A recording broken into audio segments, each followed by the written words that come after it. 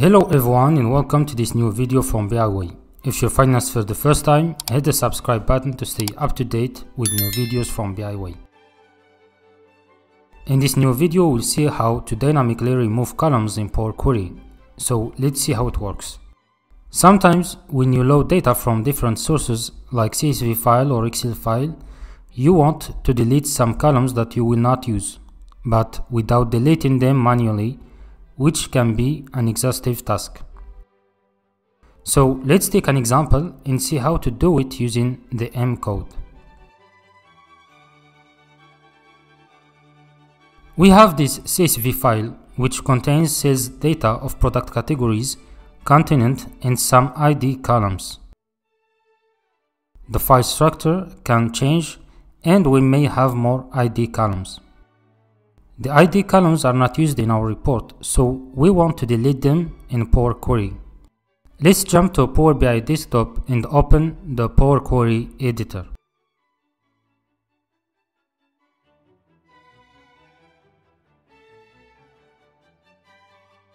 As you can see, we have already imported the CSV data.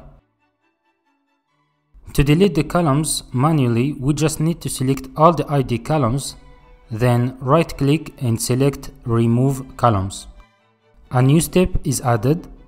If we take a look to the formula, we can see that the function table that remove columns is used. It accepts two parameters. The first one is a table which is the previous step and the second parameter is the columns to delete. You got it right. To meet our need, we need to make sure that the list of columns changes. So how we're going to get the list of ID columns? Let's first duplicate the query, then remove the step to have all the columns.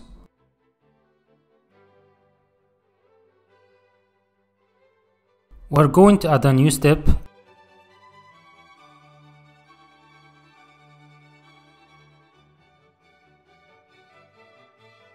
In the custom step, we will use the table.columnNames function, which returns the column names in the table as a list of text. If we use it, in the table we put the previous step,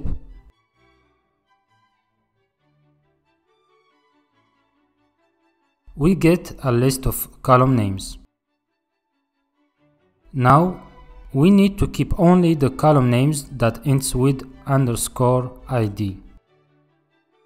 So we're going to use another function which is list.select.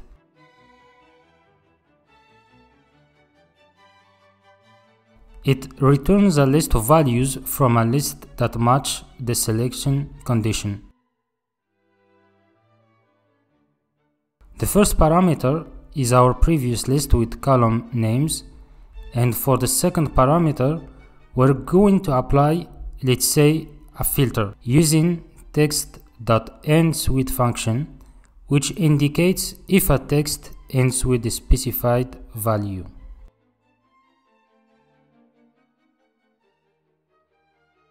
The syntax for the second parameter is each Text.EndsWith underscore comma underscore id which means for each row we're going to verify if the value ends with underscore id as you can see we get only the id columns. Nice.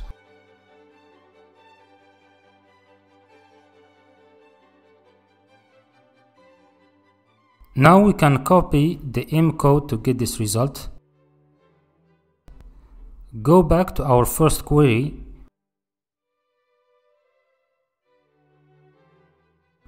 and instead of the list of columns we're going to pass the M code.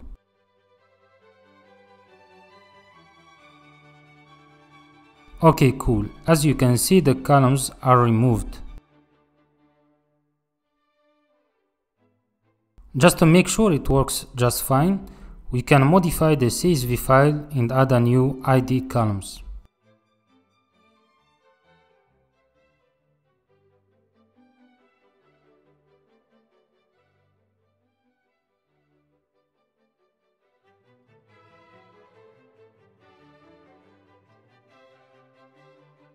Let's refresh the source step.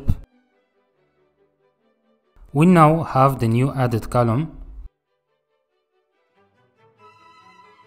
If we go through each step, at the last one we can see that all the ID columns are removed.